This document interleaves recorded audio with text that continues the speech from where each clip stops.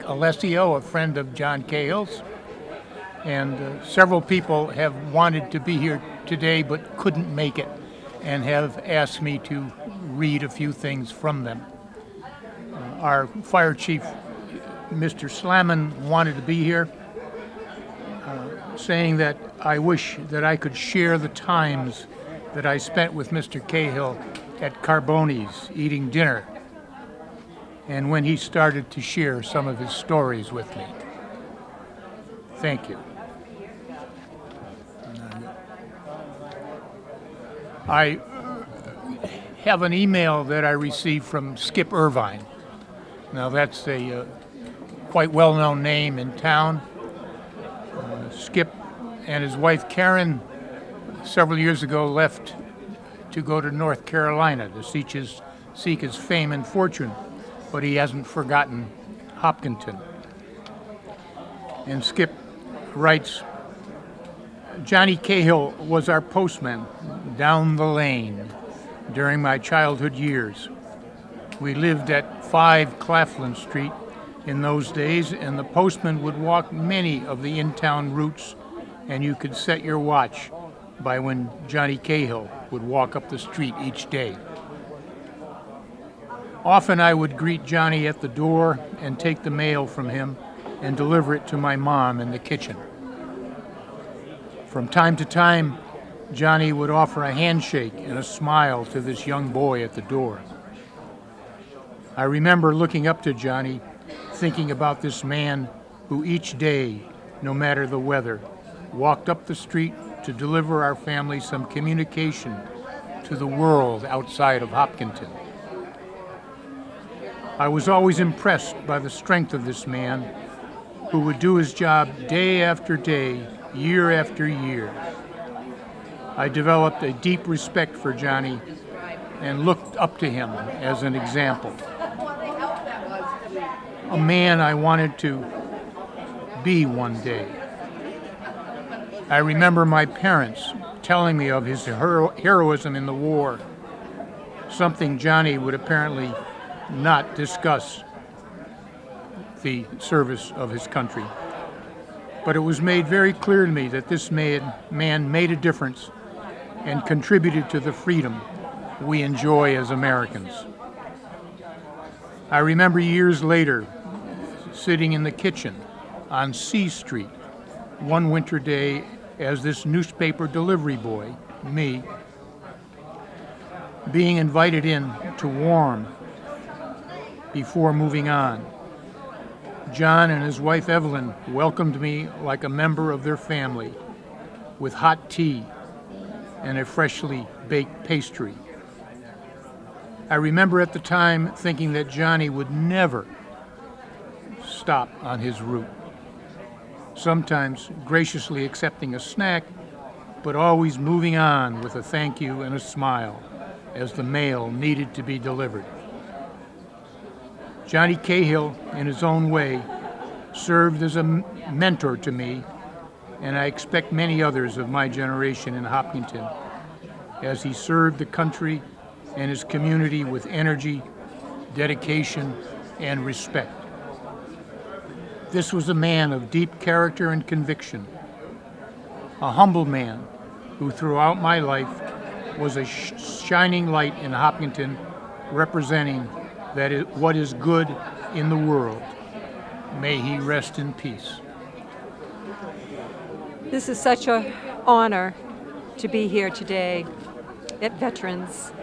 My son is a veteran, and so I really have a lot of feelings, just like all of you do, for our dear veterans. George Broder remembers working with John Cahill. John worked for Dad for a while as a carpenter, along with Mary Foy. My favorite remembrance of John is when he was working for Charlie Wright at the Hopkinton Grain Store at the time when freight still came by train.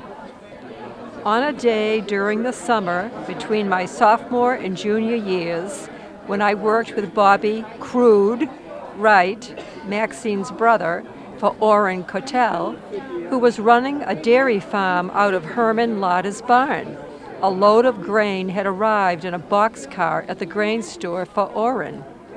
Crude and me went to the grain store with Orrin's stake bodied truck to unload the grain car and bring it back to the barn in Woodville. The grain bags weighed 100 pounds each. John was standing on top of the grain stack and would place a grain bag on my shoulder and Bobby's. Then we would tip them off onto the truck. The bed of the truck was at the same level as the floor of the grain car. Bobby told John to put a sack of grain on each of his shoulders. I did the same, and all was going well until I asked John to put a sack of grain crossways over the two that I was carrying on my shoulders so that it was also resting on my head 300 pounds. That was my first mistake. My next mistake was a misstep on the slippery grain car floor, where I ended up hitting the floor and my one and only lifetime split. I had ruptured myself. John called Ma to meet him and hauled me up to Doc Joe's. I sat out the next couple of weeks of summer at home and showed up for football a week late. I cringe each time our 60 year old baby brother does a split. Ouch. so that's George's favorite memory of dear John Cahill, who we all loved. Thank you. Hi, I'm Mary Beatty Harrington. I uh, used to live next across the street from John Cahill. My parents bought the house across the street from him in 1935, and we moved in in 1936 when I was born. John and his family were great neighbors. He uh, was about 11 years old at that time, and uh, his older sister was my babysitter. John uh, used to come through our yard to go to B Street uh, to his visit with his friends. And uh, when I was in the playpen, he would holler, Mrs. Beatty, uh, eh, Mrs. Beatty, her diapers are off. And finally, one day, uh, he, he said, Mrs. Beatty, and my mother said, I'll be right out. And he said, No, I've already taken care of her. Uh, his mother was a, a nurse, and uh, she was a great support when my dad was sick back in 1942 and was in bed for 11, 11 weeks with rheumatic fever we uh, will always remember the close relationship that we had with all of the Cahills, especially with John. And when he went off to the service and came back uh, on leave, he brought his fi- fiancee, Evelyn, to come and meet my mother and my father and my brother and I. He was a true, true Hopkintonian and a wonderful uh, uh, service uh, man. We shall always remember his contribution to this country. Thank you. I am Susan Ressler. I'm a neighbor of Jack and Johnny Cahill. And how I really know Johnny is mostly from having been very good friends with Evelyn. And when Evelyn died, um, it was really hard um, for me. Um, and as the years went by, uh, it became apparent that Johnny really needed help with things, and he would call me. Uh, Sue, um, the squirrels have eaten through the ceiling in the living room, and I wonder if you would be so kind as to come over here and patch the ceiling for me. Uh, okay, Johnny. And so I would go over and patch the ceiling, and that led to my painting the exterior of his house, which led to my fixing everything from light bulbs to making breakfast. Um, and for a while, the making of breakfast or lunch or whatever uh, went well until the fall that he took here coming into the senior center. And as time went on, it became harder and harder for him to eat the solid foods that he loved. Um, and what he really looked forward to uh, became his poker nights with the guys. Um, I hate to say this, Ronnie, if you're hearing this, but the reality was that Ronnie and um, um, their dear friends would get together and they would play. I don't know what the card game was that they played, but it drove Johnny and Pat and anybody else who was there, your husband, crazy because all they would do was talk, the women. And it was Tuesday nights that he loved. And no one was allowed to come in there and speak when they were playing cards. As hard as it's been for a lot of people, knowing that Johnny's gone, he was so ready. He had had enough and was all set with saying goodbye. My name is Rick McMillan. Uh, I admired John Cahill when he was working at the grain store. He grew up down the street from me. I grew up in his neighborhood, knew his father and mother. I knew Evelyn. He was a great guy. He also served on the fire department, which many people don't remember. He did a lot of service to the town, and uh, I've worked with him for years in different places, and he was, I, I admire him greatly. So, thank you. Uh, my name is Mike Shepard. Um, I've known John. I, I, knew John back when I was in high school. Uh, John was a letter carrier at my, my then girlfriend's house.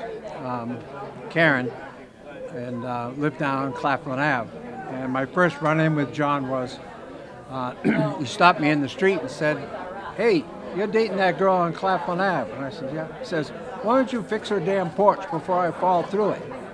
And that's where I first met John. And uh, over the years, I grew to love John and respect John. And I firmly believe there are a few people in your life that touch your lives that make you a better person. John was always a gentleman. John was always respectful. And uh, I'm really happy to have known John. Thank you. Okay, my name is Ronnie Bilodeau. And I first met John Cahill about nine and a half years ago, this past summer. We were, my husband and I were walking at the state park, and all of a sudden I heard, Hey, neighbor! I said to my husband, Who is that? Because nobody yells out, hey, neighbor. So he says, oh, that's the, the retired um, mailman in our town. I never knew John before because I worked days and my husband was home sometimes throughout the day because he owned a construction business. So every time we went down to the state park and we did our walk, I would hear, hey neighbor. I was introduced to Ray Fair and John Cahill. When the senior center opened up in 1906, I became a hostess here at the dining room. And one day I was walking down the hall and I hear, Hey, neighbor! And I'm saying, I know that voice. It's got to be Mr. Cahill. So we started talking, got reacquainted. A couple of months later, I'm sitting at the desk at the hostess, and John said, How would you like to go out to dinner with me? And I says, Why not? I'm a widow, he's a widower. And so Friday night became our, as he put it, our date night. John liked to go out to expensive restaurants. I felt uncomfortable at that point because I was never one to go out and dress up to go out and celebrate a dinner. Um, John realized it was only food that we were going out for and some good conversation. He became my dinner companion. John's some of John's favorites was Bugaboo Creek over in Milford, the 99 in Milford, the Algerian restaurant out in uh, Framingham, uh, Fresco out in Upton, Wildwood was one of them that he liked in Marlboro. And at the very end, Carboni was our favorite.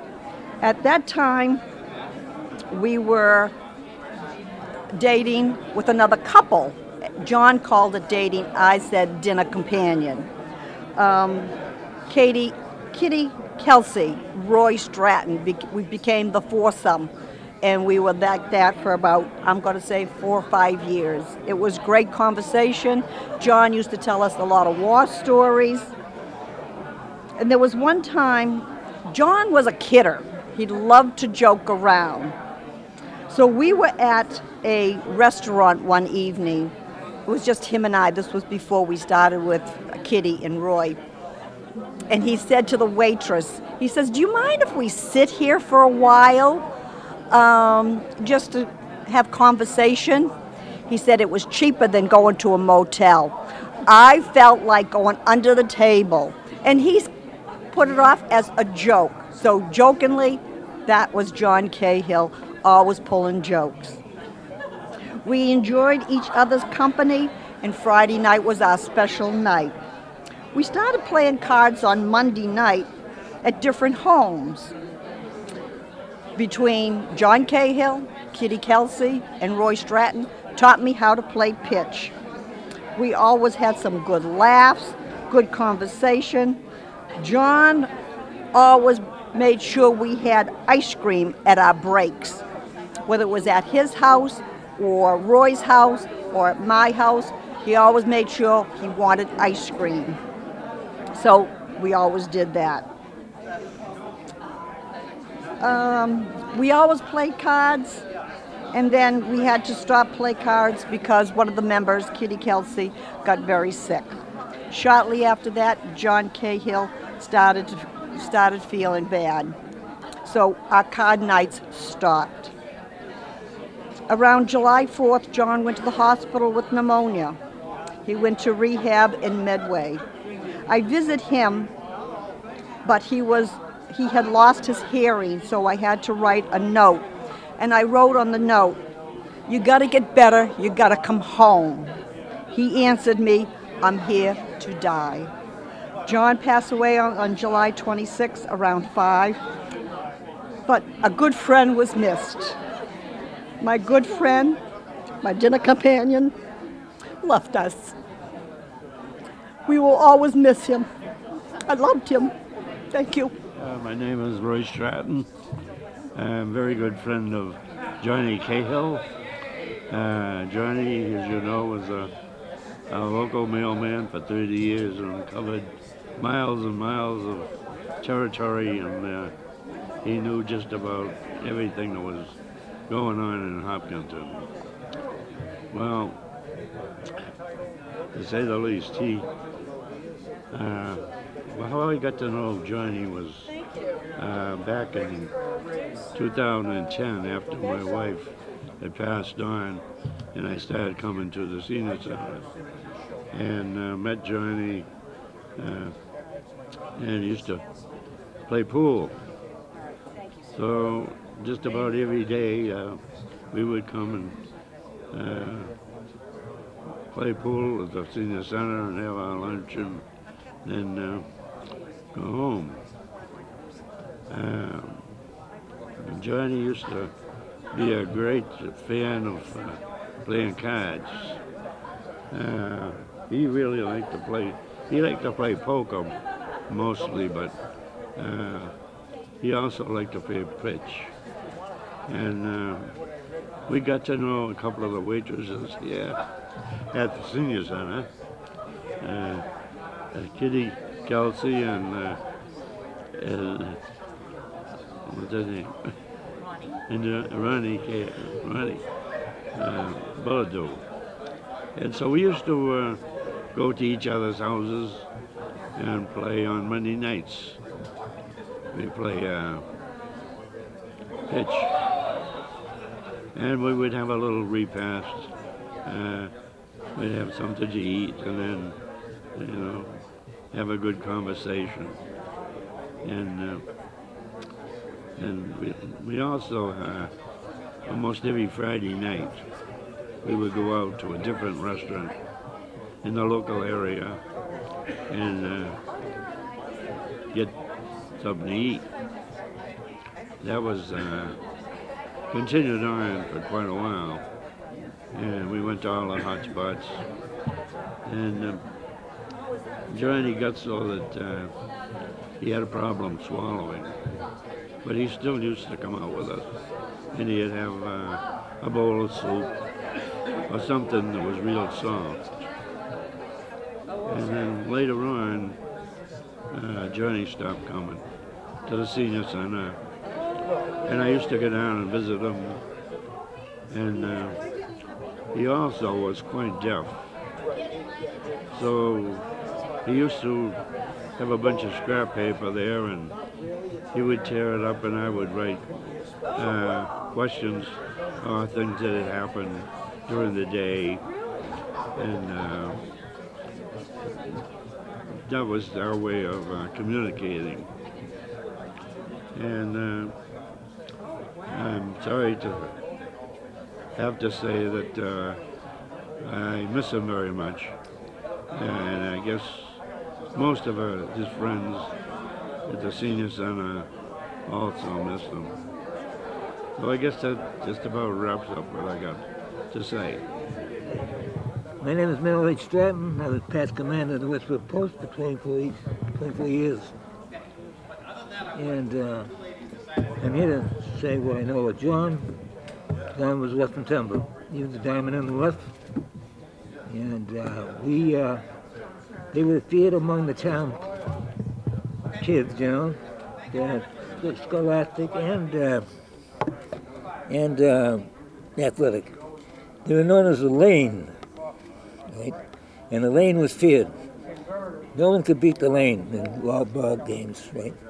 Well, they scheduled a game with the Mount Auburn Street gang, right, which was four or five kids, softies, right?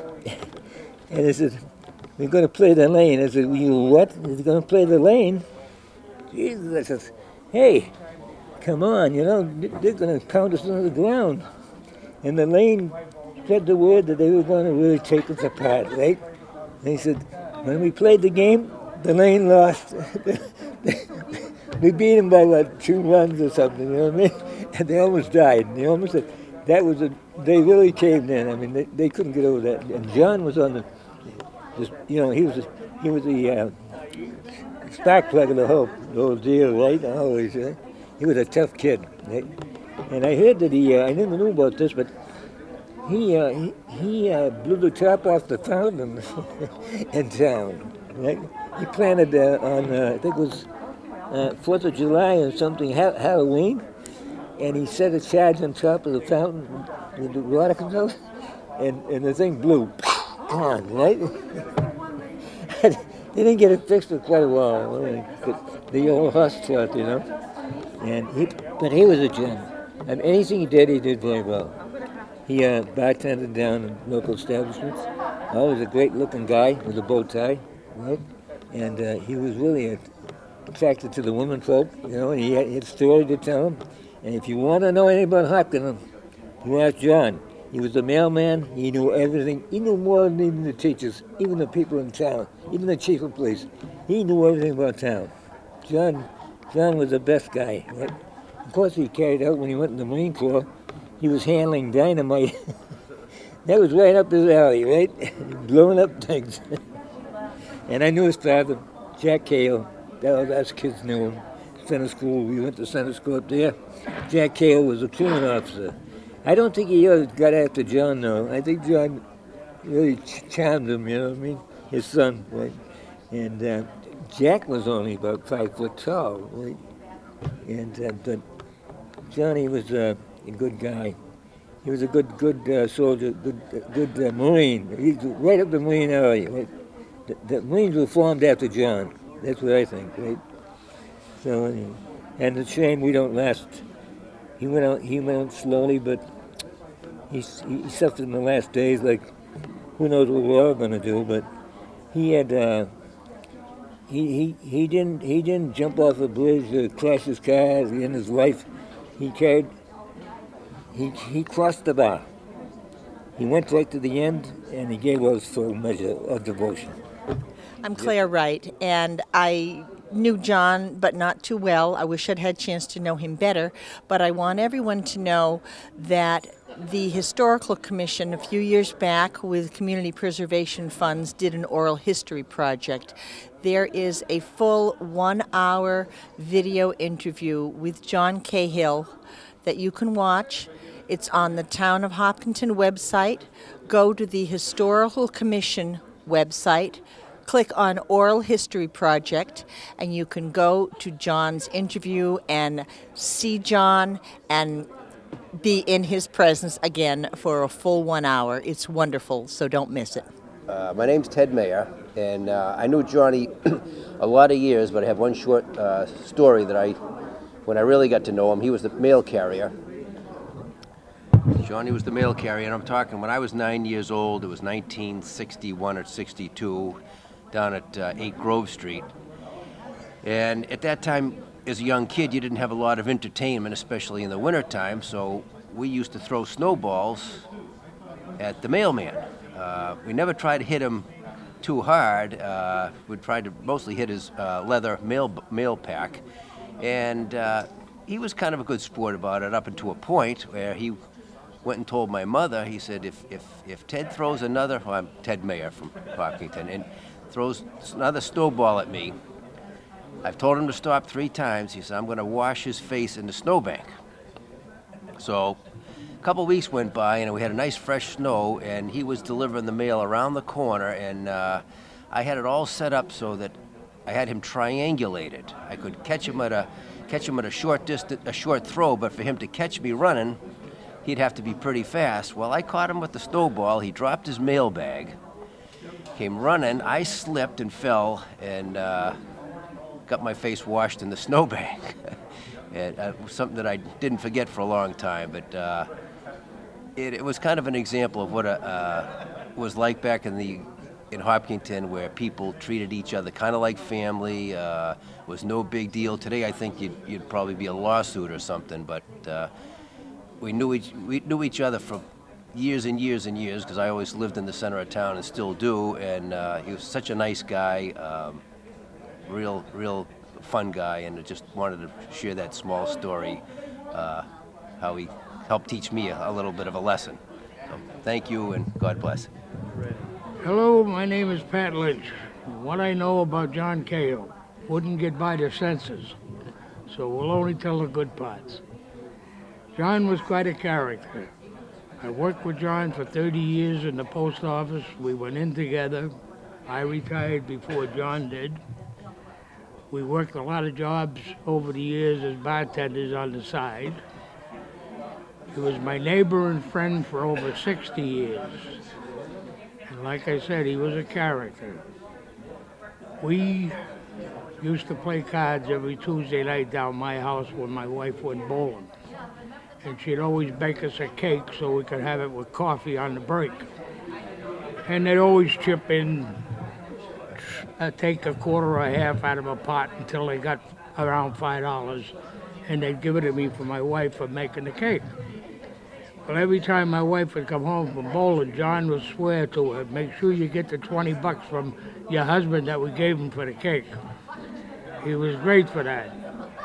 Another thing he always used to do was when he come home from playing cards, and this was every time he played cards, he would put ten dollars on the bureau at home. And his wife never complained about him going out to play cards because she got the ten dollars she thought he won every time he went out. I'm sure Evelyn was not that naive. But the best thing I could say about John is everybody should be blessed with somebody like a John Cahill in their lifetime to know what a true friend is. God bless, John. Hey, hey how you doing there? Uh, as you know, my name's Mike Whalen, and more than happy to share a little bit of memories I've had of John. Uh, because we knew each other so well, uh, he was able to tell me about my father's family, things that uh, nobody else would tell me, because he grew up with my with my father, and uh, you know, of course, my father only told me the, the, the nice stories about our family, and um, uh, John gave me a little inside information which uh, made me chuckle at times. Uh, some of the things that uh, you know my parents left out of the story. Uh, so you know that's my one of my fondest memories of John. We used to call him uh, when he worked at Carboni's as a bartender. We gave him the nickname of Gunny, which is uh, a rank in, in the Marine Corps, and obviously he wasn't even close to a gunny, but uh, it- it's a term of uh, respect, and so we would always uh, use that term. We wanted to order another drink or something when he was a bartender at Carboni's. Um, you know, over the years, I got to know him even better. Uh, after he retired from the post office, uh, I used to see him at all these veterans events, and he was always very appreciative of what was going on. And, and of course, the connection he and I had was both me Marines, even though it was a generation apart. Uh, we had a lot in common, and we shared a lot of stories. And um, I'm going to miss him, and I'll never forget him. Hi, my name's Eric Sonnet. I was a friend of John Cahill. John typified everything that veterans in this town hope to be. If you look at this picture of Iwo Jima, the blood in that picture is John Cahill's blood.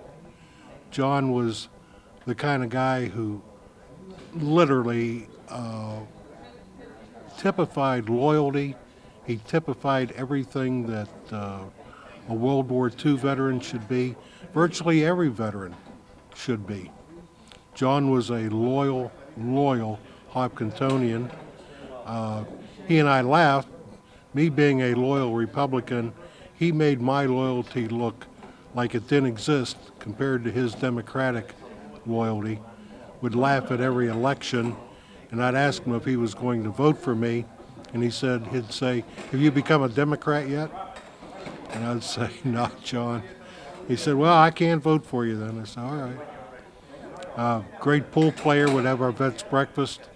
It would not even be hardly over, and he'd be going down the hall with his buddies to play pool at the senior center.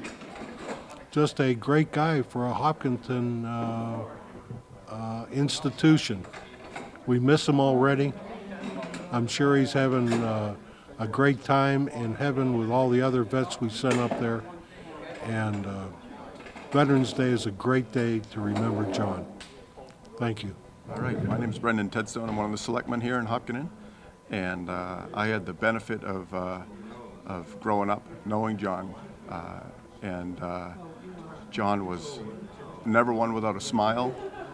Uh, John hid his uh, his what he did day to day when he was in the in the Marine Corps. He was never bros- uh, boastful or braggadocious about it, and uh, but he was very very proud of his of his Marine Corps heritage, and uh, it's it's one of those things where, as a kid growing up with John, and or not growing up with him but being around John, the uh, the, the knowledge and, and wisdom that he imparts into you, you don't even fully comprehend until it's too late.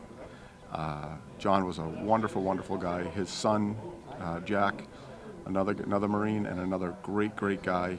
Um, Jack was uh, instrumental on my bid for selectman. He came up and held signs and and uh, was just instrumental. And, and he's a chip off the old block. And I had a discussion with Jack, saying how sorry I was, and uh, just he's just when we lose people like uh, like Mr. Cahill, there's there's no replacing him. And uh, I, from the bottom of my heart, I thank him for all the work he did in the service, all the work he did in the town, and I miss having breakfast with him three times a week at the old Golden Spoon. Uh, good man, he'll be missed.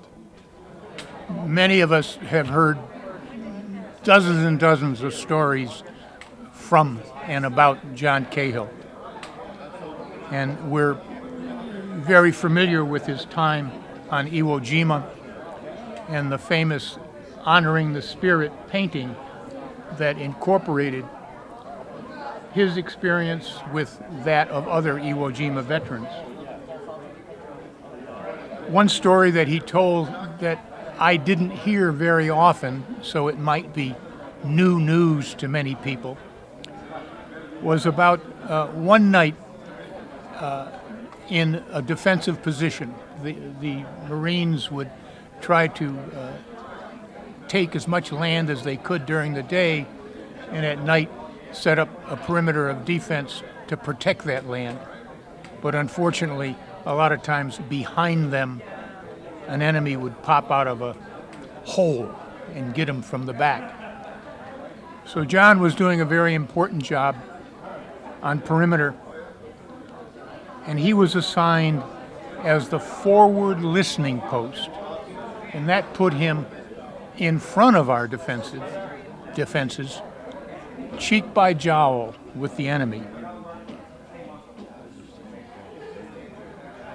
And as he was there, two Japanese were detected moving towards the Americans, moving towards the Marines.